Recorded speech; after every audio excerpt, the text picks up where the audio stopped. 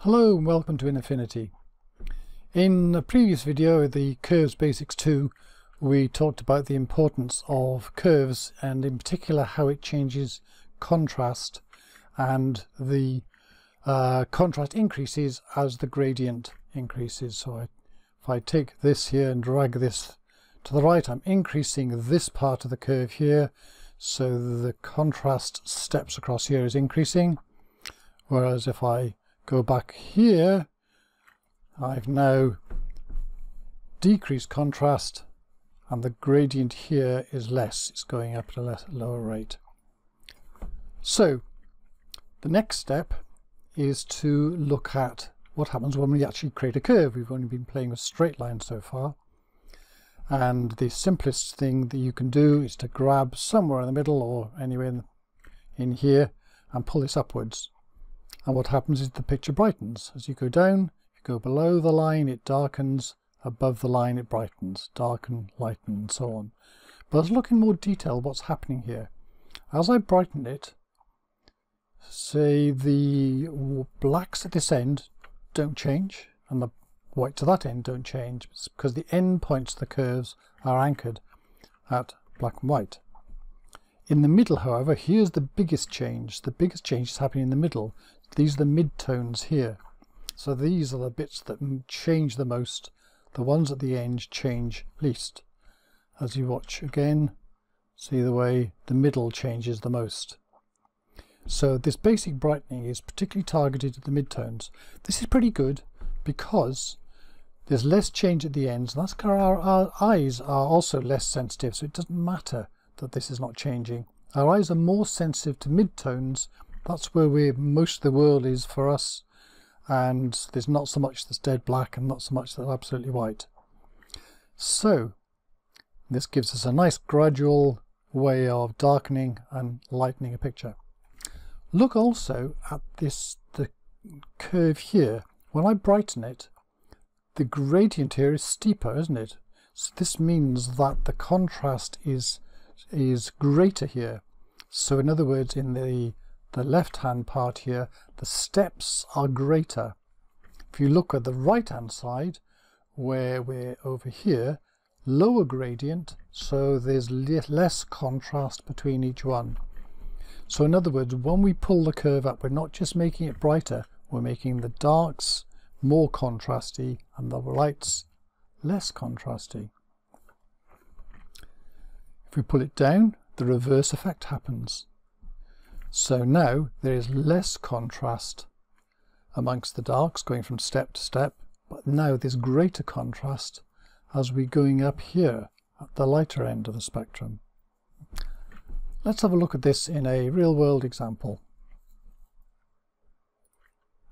Okay, here we've got a scene in Berlin. Let's just take this for the moment. Okay, stop making these little funny blacky bits. Here is a picture of um, it's a building in Berlin. I think it's a, oh, I won't guess. I'll, be told that I'm wrong. Anyway, so we've got a lot of people here on the grass. Nice scene, but it's a bit dark, isn't it? It's partly because this it's a bit over light over here in comparison, because the sun was up here and the camera sort of probably tried to compensate for one and the other and ended up a bit on the dark side. So, what am I going to do about this? First of all, I'm going to hit Control J, and get myself two layers. And one of the layers I'm going to make lighter the other darker and then we're going to combine them in a very simple way. So let's start with this one. We'll create a curves layer for this one. And let's do our brightening here.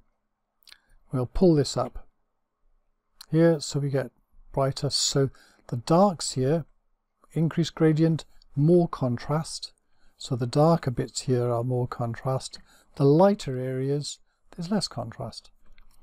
Yeah, the changes amongst in the light is here, the change in the dark is greater. You know, if you put it right up, you know, there's that effect. Okay, so let's this could do with a fair amount of pulling up here.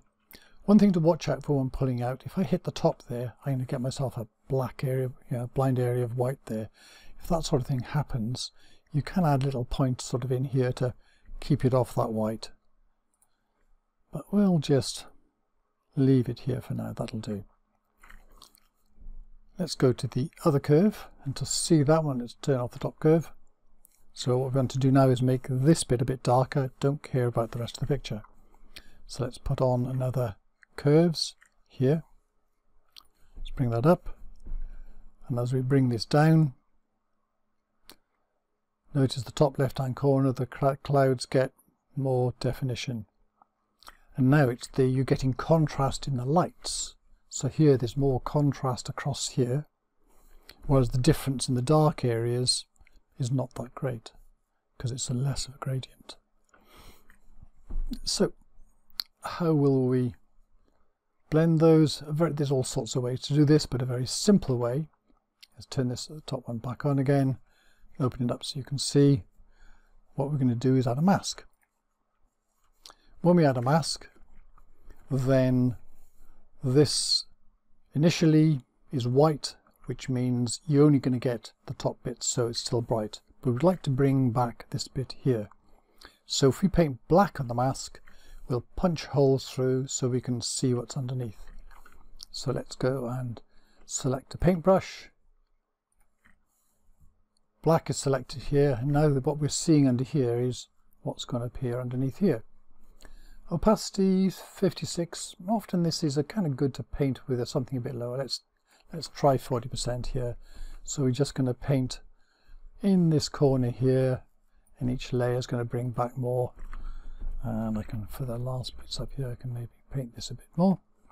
So there we go. We've combined these two. This is not great up there. We could do a little bit of combining that so let's make that a little bit less here so we just yeah just kind of feather that in a bit more about that yeah the sky can usually do with a little bit more darkening there you go it's still a little blotchy but you get the idea we could spend more time on it so there we go very simply as we do that so pulling up for brightness pulling down for to make it darker but we get contrast effects as bits of the curve change their gradient level. That's what we need to remember.